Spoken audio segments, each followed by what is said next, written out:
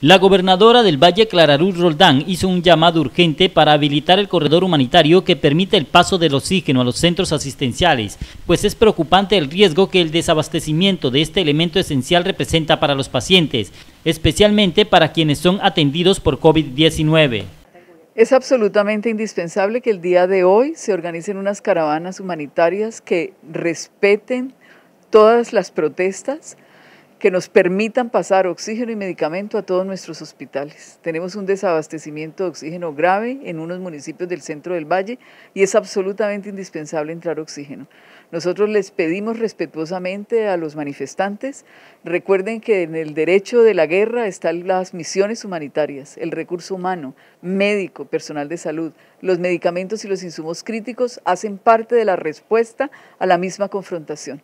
Los insumos críticos para nosotros están al servicio de toda la ciudadanía, todos lo necesitamos. Son rutas humanitarias que nos permitan el paso de nuestros trabajadores de la salud, de nuestros insumos y del oxígeno a todos los rincones del departamento. Por fortuna, Buenaventura no está entre las ciudades con esta crisis. Pese a esto, no quiere decir que esté ajena a la misma.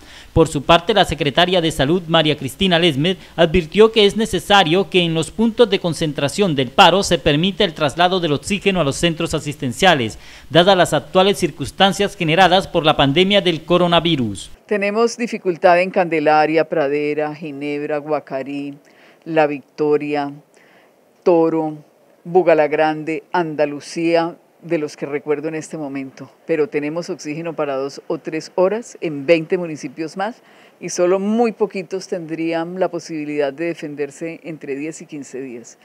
La situación es crítica en la medida que hay confrontamientos y hay heridos. Nosotros tenemos un mayor gasto de insumos médicos y tenemos una mayor necesidad de insumos médicos los profesionales y trabajadores de la salud no viven necesariamente en el municipio donde prestan servicio. Es muy importante que nos dejen pasar las personas de Candelaria, de Florida, hacia Cali y viceversa. Médicos que trabajan en Palmira y viven en Cali.